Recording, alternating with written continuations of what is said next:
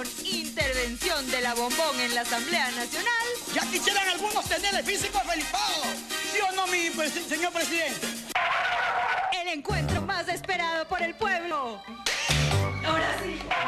No puede ser. Ahora sí todo. Mi cuchicuchi. asambleísta, ahora que es casado. Y ante la duda del asambleísta montaño. Ya quisiera usted tener la talla de felipado Me lanzó un bombón. Hay broma que José, debajo del terno, motociclista, tiene sus pepas, a ver.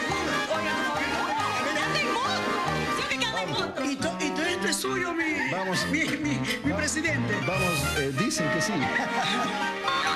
No, voy a hacer que en realidad a nuestro asambleísta felicitarle por el discurso, agradecerle por esos buenos augurios de que algún día tendrá el físico de Felipao. ¿No se ofendió? No, porque incluso cuando mencionó el tema de- del físico de Felipao, nuestro asambleísta, pues yo lo que hice es levantar la mano en la presidencia y decir, yo, yo, yo quiero ese físico.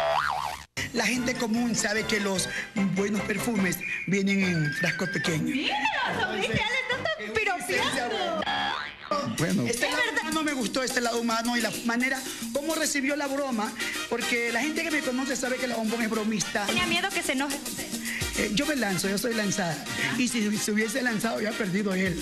Porque me había picado y yo lo había seguido ahí. no hay nada como reírse de uno mismo. Si uno no aprende a reírse de uno mismo, uno no sabe vivir, vivir y uno no sabe afrontar la vida. Así que una broma con, que lo recibimos con mucho cariño. Y así entre la bombón y el presidente solo hay buena onda. Me alegro, muchas gracias por esta entrevista. Y aquí se quedó paz y amor con abrazo y todo me despido. Ale Boada. Corto, gran noticiero. Corto.